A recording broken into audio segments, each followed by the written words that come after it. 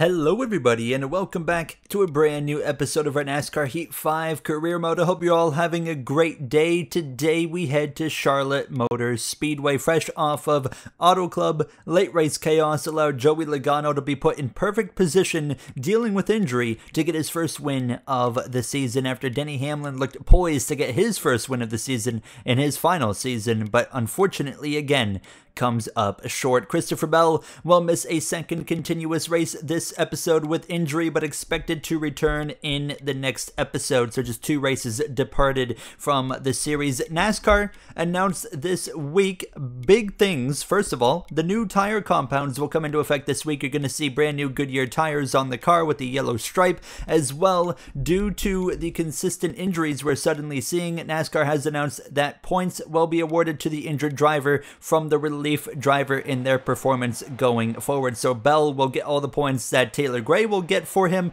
uh, and Bubba Wallace has been given the points that the 23 of Corey Heim was able to put up on the board for him, as NASCAR has deemed that it's not the driver's fault that they're getting injured in the car uh, due to some issues there. But if a driver gets injured outside of the car, they will not be awarded those points that the relief driver earns them. Another big moment here this weekend, Richard Childress Racing with an announcement here in this Coke 600 weekend that Austin Dillon and Kevin Harvick are going to be moving into a leadership role at RCR Following this season, Richard Childress himself will be taking a step back, and it will be now Austin Dillon and Harvick in a leadership role. So Harvick joining the team not as a driver, and Austin Dillon will officially be stepping aside from racing duties in the number three car after winning only a few races in his Cup Series career, an early quote-unquote retirement, but he will still be, of course, in the leadership perspective of Richard Childress Racing moving forward. The driver lineup to be determined, but Austin Hill is expected to still be on the team, so that's at least half the team decided. But they also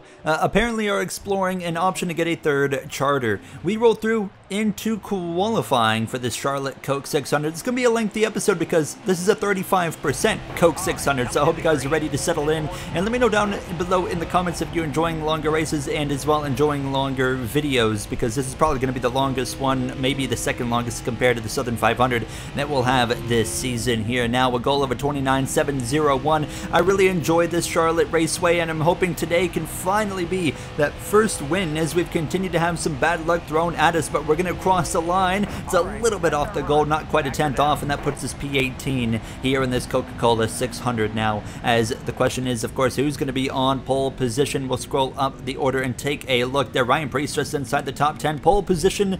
Tyler Reddick in the number 45 for 23XI Racing. Chastain P2. Byron Larson Buescher all in the top 5. Gibbs Briscoe in the top 10 as well as you see the rest of the qualifying order. There's no Cup, or sorry, there's no Trucks or Xfinity Series this weekend. It's only a standalone Cup event. So with that, let's get ready to go racing and head to the pre-show here Sunday evening. It's the Coke 600. We're here from Charlotte Motor Speedway for the second crown jewel race of the season. A rich history in the central location of NASCAR. Who will win tonight? I was lucky to win here myself before Mike, and it truly is a special feeling. I've got my eyes on the Toyotas today. They, they have been figuring out these tracks lately, and I think today is the day they get a win. I'm with you, Kevin. Uh, Reddick on pole. My pick is that boy. He will dominate this race tonight. Gary Owen, it's Harvick and the boys in the booth. You got me? I was wondering when you guys would talk to me. Yeah, I got you. Starting 18th today, a long race. What's the goal for tonight? Uh, a top five for sure. I think the car is way better in race trims, so prefer- preferably a win, but definitely a top five. All right, that car's looking lit AF out there. Good luck. Don't ever say that again at your age, bro. Long race today, Gary. Be patient. Yes, sir, coach. Uh, hopefully, I can deliver the first win of the season for you today. We're ready to roll. Daniel Suarez, Ty Gibbs, both to the back. Uh, Gibbs failing pre-race inspection. Suarez with a technical inspection issue. You see that yellow stripe there on the tire now. We're ready to test out the new compound here from Goodyear. The green flag is out and the Coke 600 is officially underway. We start now P17, moving up due to Ty Gibbs, of course, heading to the back of the grid. Now, new paint scheme on the track. Sanok whipped up an absolute banger, and I think this thing really pops under the lights here at nighttime, which you'll see a little bit later in the episode, but you will see it in the replay replay cameras right off the bat as we head down this back straightaway. 140 laps of racing for 35% here. Usually when it's a 25% race, of course, that we were logged into, uh, it was usually 100 laps. So now we've added an additional 40 as we're right on the back of that Coca-Cola machine of Chase Elliott, still yet to have seen a repeat winner this season.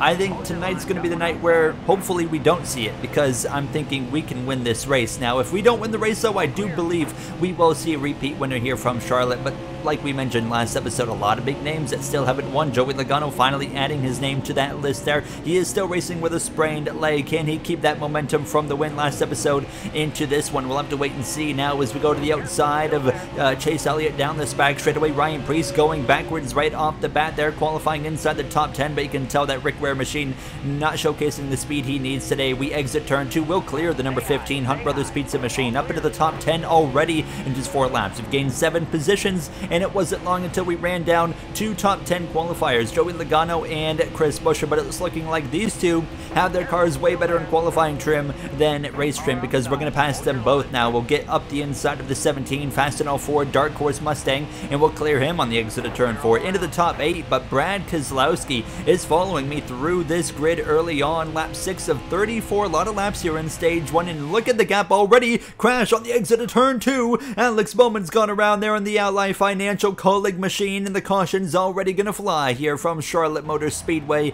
Nobody's going to come into the pits except for the number 30 of Christopher Tate in that Three Friends racing car, because nobody can make it to the end of the stage if they pitted at this point in time. So, we're going to get back underway from 8th position here, row number 4. 25 laps remain. So a field run is going to be right about 19 to 20 laps if we really stretch it. So we're going to be expecting to probably do 16 to 17 laps if we get into a green flag pit stop scenario, uh, which is very possible here today from Charlotte. Four stages, keep in mind, not your usual three stages. The only race on the calendar that we see four stages, so they're all going to be around 30 to 35 laps, somewhere in between, of course, depending on timing of cautions and the end of these stages and whatnot. So uh, stage one being 34 laps, 24 to go. On the outside here into turn number one, the early lead right now is in favor of Ross Chastain.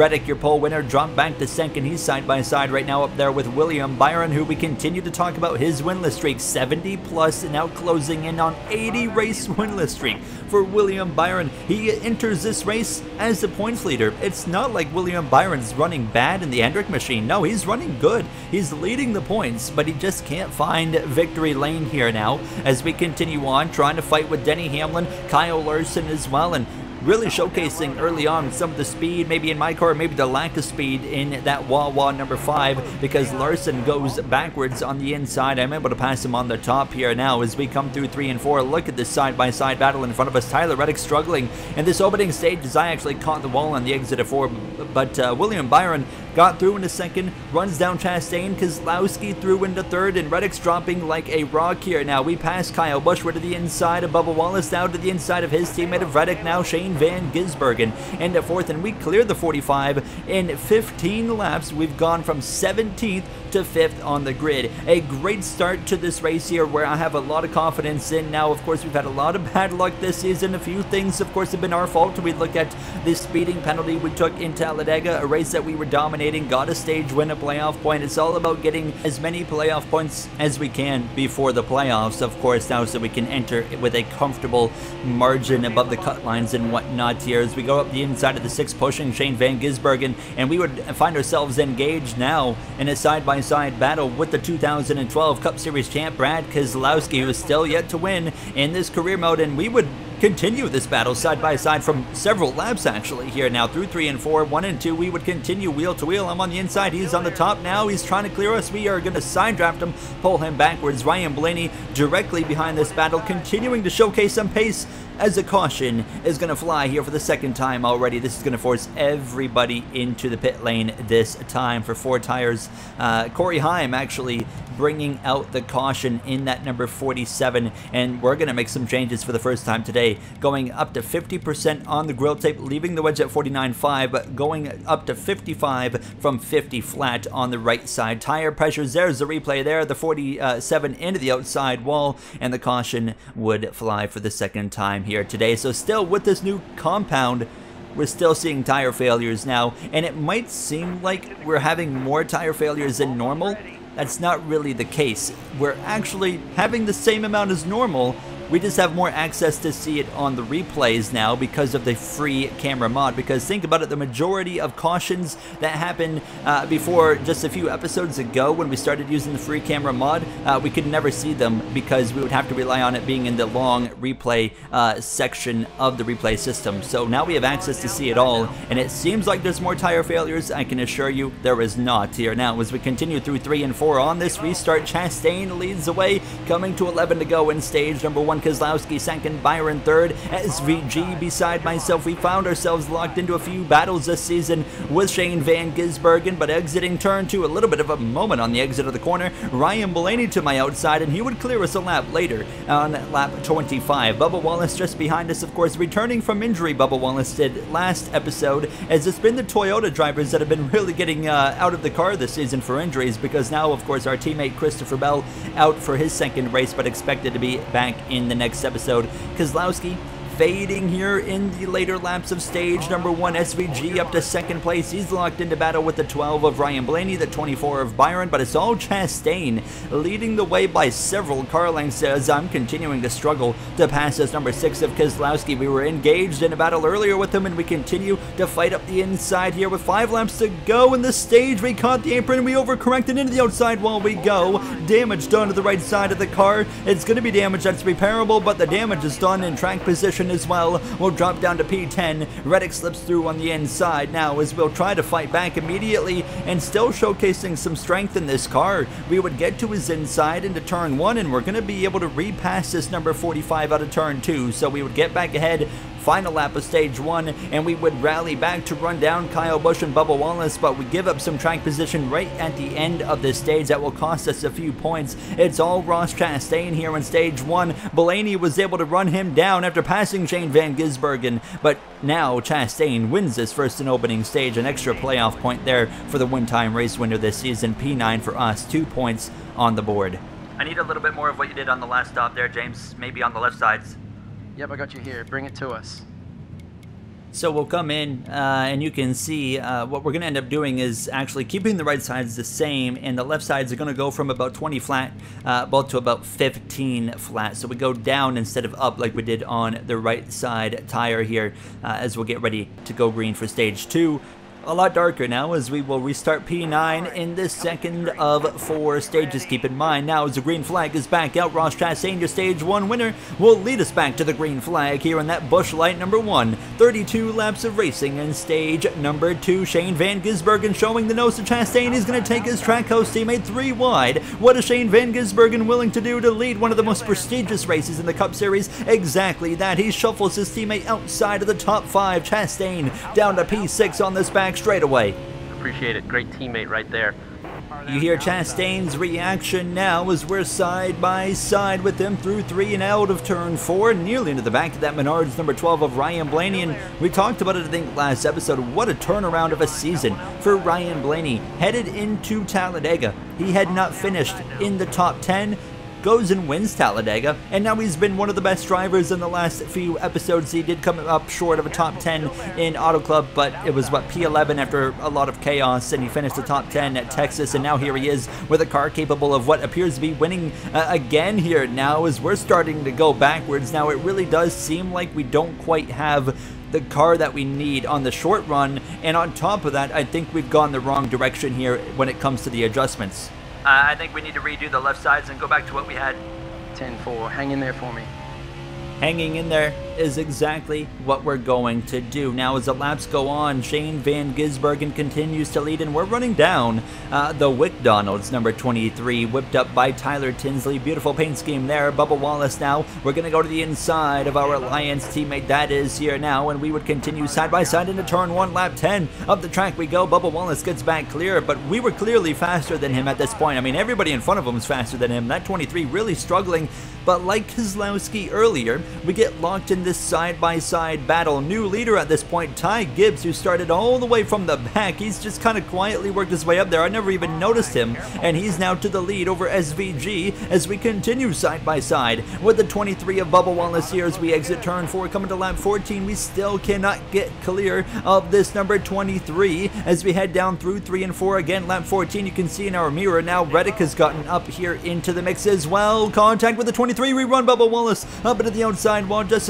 scrape there as we continue on side by side. He's not going to give this up as we head down into turn 1 and 2. He would continue on our door now. Bubba not making it easy as we roll through the front straightaway. Now we might have a chance to get clear through the triangle with 17 to go in stage 2. Finally clear, but look at the damage done. Look at how far ahead everybody else is. And to add on to that, I was verifying the fact that our car is just not where we needed to be after those adjustments because now here goes Tyler Reddick to my inside out, out of turn two. And it wasn't long until Bubba Wallace is going to get back up now my inside as we come through three and four. The car really starting to kind of just move up, slip and slide a little bit off the corner. You're going to see right here out of turn two again, lap 18. Here comes Keselowski now. So this is going to drop us down to ninth place here now as we roll through four. And here comes Tyler Reddick into the pit lane now. And that's a bit of an abrupt one. And that's going to really hold up Bubba Wallace and Brad Keselowski. So we go to P6 and suddenly a two for one special right there as now two laps of fuel in the car. But we're not going to be pitting under green because the caution flies. And I could not find any reason for the caution under this one. I couldn't find it anywhere. So we're going to put the left sides back to where they were. That's the only adjustment here, back to 20-0 on the tire pressures. But a bunch of drivers had been in the pit lane, as you saw, at the time of the caution.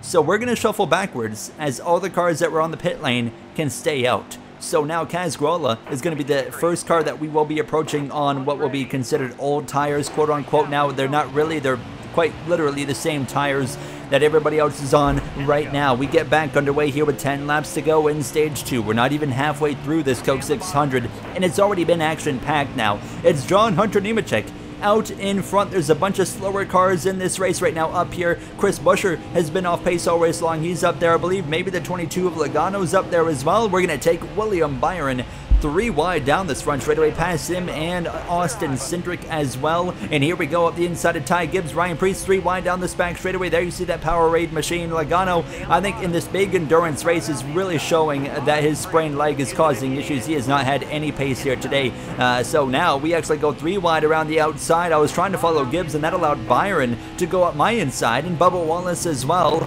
So now we would follow them. We would get to the inside of Gibbs following these two who was stuck behind the 13 of Chandler Smith. So now we'll get back out in front of Gibbs, who might be the fastest car here tonight. It really does seem like that now, as now we come through to these closing moments of stage two. Coming to lap 28 of 32, there's John Hunter Nemechek. Byron's going to pass him, and Austin Hill leads the way fresh off the RCR news, but he was going backwards. So now Byron to the lead, Bubba Wallace to second, and myself into third. Gibbs got caught up in the traffic, really struggled to get through. So now it's really just a three horse battle here for the stage win. Now, Bubba to the inside of the 24 with just over three laps to go in stage number two. Do we have anything for these guys? Now, as we approach lap 30, we got up the inside of the 24 wheel to wheel with Byron, but this would continue down into turn three. It's so hard to pass these cars or complete these passes here today, and we would continue two laps to go down this back straightaway, still wheel to wheel with William Byron, but Bubba Wallace has not gotten away, so don't write off a potential stage win, but we have to clear that 24 into turn one, otherwise it's over. Bubba will win the stage in that fashion now, still half a car length ahead now crossing the stripe, one lap to go in stage number two as we are just about clear. And there we go, clear of Byron. We sail it deep into the corner, so we push a little bit up there on the uh, mid corner, but we still have that draft from the 23 Wick Donald's Toyota Camry down the spec straight away. It's Toyota 1 2. Do we have anything? To make a move into turn three. He leaves the inside open, a full car with there. We get up the inside to the left rear. We're going to try and pull him back. Side draft to the line. Who's it going to be? Bubba Wallace or myself? It's going to be a photo finish for the stage. But it's Bubba Wallace, and he got it by that much. Oh my goodness. I would have loved to get that playoff point. So that built my confidence in the car, so we're not going to make a single adjustment. We're going to leave the car at what it is on the 50 on the rights, the 20 on the lefts for the tire pressures, and our pit crew gains us a position. Our pit crew has been fantastic, gaining us positions all season, and they gain us one to put us in control for the start of the third and final stage here from Charlotte Motor Speedway, and now we're going to get amped here from Charlotte.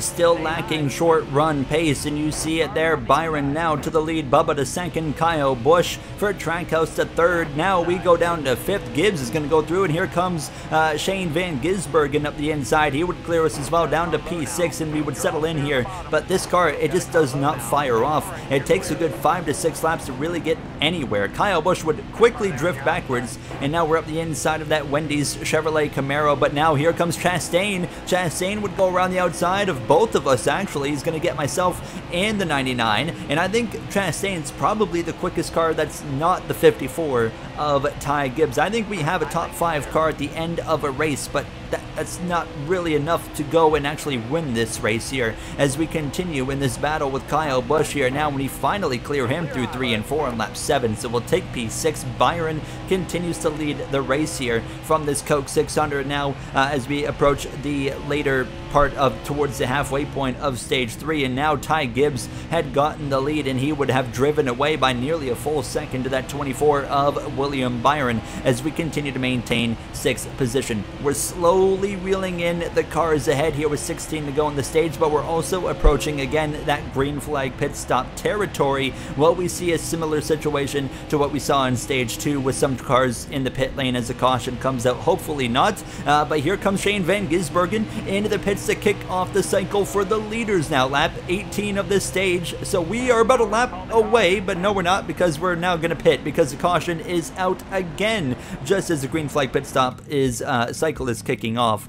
However, this time we're going to go do the opposite on the left sides. We're going to crank both left side tires up to 25 psi instead of 15 as Denny Hamlin brings out the caution due to a blown tire. And that's going to be the end of Hamlin's day. His final Coke 600 comes to an unfortunate end and four drivers were in the pit lane at the time of the caution. Shane Van Gisbergen being one of them. Tyler Reddick's up there now as well as Brad Keselowski. We're back racing here and it's 11 laps to go. I really want to have a chance to make a green flag pit stop cycle happen, but it's just the cautions are coming out at the worst times here tonight now. It seems like we're getting some longer runs, however, now we're going to get the elbows out at stage 3, nearly the end of stage 3. It's time to go. We took Bubba Wallace 3 wide. SVG leads the way down the back straightaway. Drone cam going past right there, but up the inside of him now is Tyler Reddick. Now Austin Hill was up there in P2. He's dropping back now. He's really benefited today from pit strategy and, and good timing with cautions. Todd Gilliland, uh, Toddy G just behind us there in P10 briefly now, but we would get past Austin Hill and Keselowski and settle in to P7 here in these closing laps. SVG back out in front. Ty Gibbs second, Chastain third, Reddick fourth, but it was SVG continuing to hold on. Reddick would drop back to P6 here as once again, just like the end of stage two, we're slowly rallying forward. Ryan Blaney now to the lead here in the closing laps of this stage. And here we go to the inside of that Monster Energy Beast number 45. We clear Reddick through turn four. Chastain just in front of us in that fifth position, but it's Blaney, Van Gisbergen, Byron Gibbs there just in front of us. And now to the inside of that Busch Light machine. Can we get past Chastain? Everyone's kind of gridlocked right here now, but we would clear the number one of Ross the Boss up the inside of our teammate now of Ty Gibbs really leaning on his door approaching these final few moments of stage number three as we both split the 97 three wide. An unexpected move from the 54 to the top, and SVG banks out of it and loses multiple positions. So now with three to go in the stage, we're back up into P3. Now to the inside of that relay number 24 for second place, and down this run straight away, we're going to have a chance to clear the 24 into turn one. Yes, we do. Back into P2, but Blaney has a comfortable gap. We're not quite going to be able to run him down, but we push up the track. Here comes Chastain to the inside. The racing up front has been absolutely fantastic. This is what NASCAR racing is really all about. Side by side action, back and forth, different lead changes throughout the race, several lead changes now as we approach the final lap of stage three. But now Ty Gibbs up my inside. He would clear us as well. So we drop back down to fourth place. The two fastest cars. Maybe Blaney's the fastest. He's going to lead the way out of turn four. Ryan Blaney continues his just sudden surge of momentum. He will come through to win stage number three, P4 for us here in this third stage. That's the best of Cars felt so far. If we keep going in that direction, we can win. Okay, I'm going to raise the, uh, the left sides a bit more here.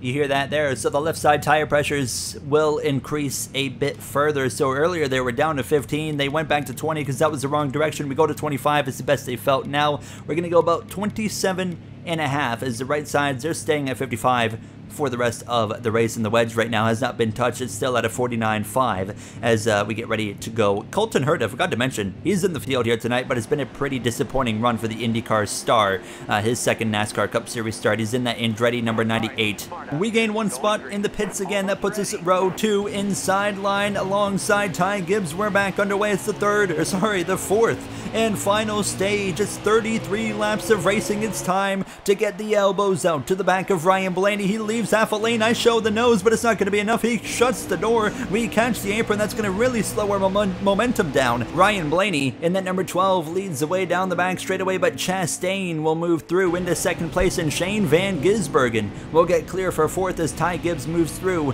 into that third spot now. So we drop down to fifth place, and we know the short run is really where our car is lacking pace compared to those specific cars in front of us. They've been kind of the, the four quickest cars early on, but look at this, out of turn two, really washing up the track, and here comes William Byron in the number 24 to the inside. I actually back out of it so I can get back in line behind the 24, but we continue to struggle as this car is really plowing tight on the exit of turn two. The cars in front of us driving away, and now here comes Tyler Reddick in the 45 to the inside. We are clearly in trouble in this fourth and final stage.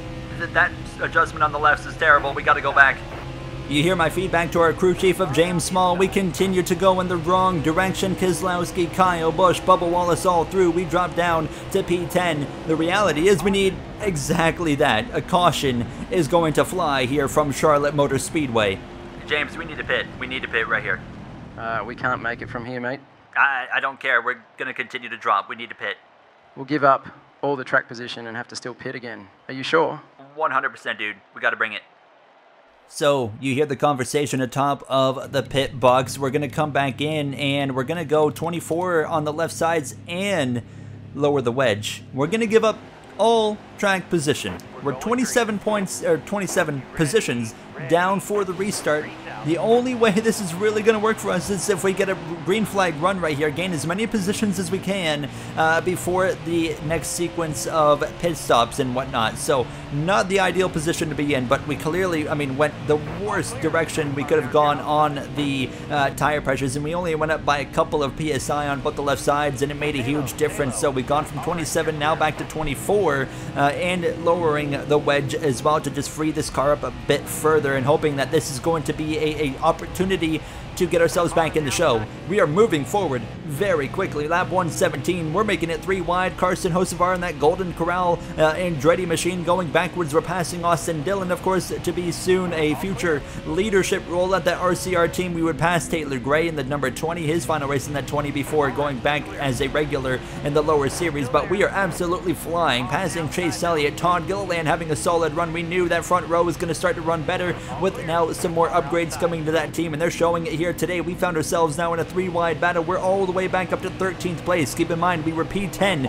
when that caution came out. We do have a tire advantage, which is exactly why we're moving forward at the pace that we are, but we are really getting the elbows right out here to get into that top 10. Justin Haley in the number 60 there runs P9. We're still three wide middle between Busch and his former car in that number 8. Austin Hill, of course, Cup Series Rookie of the Year contender, uh, but we'll pass these guys. We'll get up the inside of Haley. Ryan Blaney still leads the way, but we get up into P9. We need to hope it stays green here on lap 1 in 22, but that's not, not what's going to happen because the 8 into the outside wall, the right front tire goes down. Austin Hill brings out the caution but we still rallied to ninth, which is good. We make a very slight adjustment from a 49-4 on the wedge to a 49-3. We gain two spots in the pit lane. A great job by the pit crew to give us a fighting chance with four fresh tires and the closing what will be 15 laps of this race. Ryan Blaney leads the field back to green alongside Ty Gibbs, my teammate there, Chastain, Byron row 2, SVG, Bubba Wallace row number 3, the 24 up the track and look at the momentum we gain now through the center of 1 and 2 up into the top 5 down this backstretch. We're going to pull out a line, force the 97 to back out of it. Shane Van Gisbergen drops back up into 4th place we go. What a restart from P7 to P4, but we know the short run is where this car struggles. That's still going to be the case, but this is feeling like immediately the best it's fired off all race long. James Small has put us into a position where we can fight for the win potentially here today. SVG back into 5th as we continue 4th place. Blaney, Chastain, Gibbs, myself in the 97, but Chastain to the inside of the 12, and to the lead goes Ross to Boss, looking for his second win of the season. Maybe his biggest win, of course, at a crown jewel here in this Charlotte Motor Speedway now as we continue to fight with Gibbs. Clear is Chastain. Blaney back down to second, and we are door to door with that number 54 Toyota down this front stretch, but just not enough in it. Out of turn two, Gibbs still side by side with us. A little bit of contact, leaning on his left rear. We continue wheel to wheel, chasing him up the track on the exit of four. We continue to struggle on the short run. SVG is going to take us three wide. He's not backing out of it. He's won on an oval once in his Cup Series career already. That was Kansas last season. We back out of it. SVG gets clear but we need to clear that 97 if we're going to have any chance to go and uh, fight with this long run pace. 10 laps to go in this Coca-Cola 600. No guarantees of a caution from this point on, that's for sure. 9 to go up the inside of this 97. We need to clear him, and we need to clear him now. We're going to sail it off into turn 1, trying a slide job on the New Zealand driver, and we go a little bit too far trying to commit to it into the outside wall. I tried. I needed to clear him there. I tried. Keep pushing. Anything can still happen here. It's so hard to pass today, and I, I just went for a slider. It didn't work. We don't. We haven't had a car capable of winning this race, but I want to win this race. That's the big thing now. We haven't had the quickest car. It's Chastain and Gibbs, but now Chastain is running away as Blaney defends over the 54. We're back to the inside of the 24 with 7 to go, showcasing that after a handful of laps, this car is really able to start taking off now. And here we go, trying to clear this number 24. We might have a chance here on the exit at turn 2. We're going to wash up the track a little bit. We're going to force the 24 to back out of it now. Into the top 5 we go again, and immediately setting our sights again on that Red Bull machine Shane Van Gisbergen. A great run there for him tonight under the lights here in Charlotte. And as we approach four laps to go, we have gotten to the back of this 97. Caution flies again here in Charlotte. It's going to go to overtime to determine a Coke 600 winner. And you can see up ahead that smoke pouring out of the back of the 38 of Riley Herbst now as he brings out the caution due to a tire issue. We're going to be row three inside I don't think we're going to have a chance to win this race, but we are going to be lining up behind our Joe Gibbs Racing teammate of Ty Gibbs. So if we can't win, we can at least try to help our teammate of Gibbs now. Chastain, Blaney, Gibbs, Van Gisbergen, myself, the top five as the green flag is out and overtime is underway here from Charlotte. Who's going to get the job done? Odds are going to be, of course, in favor of that one car who's in control into turn one. Gibbs not quite aggressive enough to force it three wide. He's going to stay in line behind that number one Busch Light machine. Blaney drops back. The outside has not been where you want to be all race long for a restart now. He's in a really awkward position. We're side by side with the 97 on the run down into turn number three. Here we go up the inside into turn number three. Blaney three lanes up, and Gibbs follows through. We're going to get a good run on the exit of turn four, but not quite good enough. White flag is waving. Here comes Gibbs now to the back of the number one. Chastain, will he shut the door? We go up the inside. We get right to the back of the 54, and Gibbs to the inside of Chastain. He left the door open for Gibbs. A repeat winner has to be on the way. Oh, the top three with a win this season, and myself looking for the first win. We're not quite close enough. It's a 2 by 2 drag race into turn 3 for the final time here in Charlotte.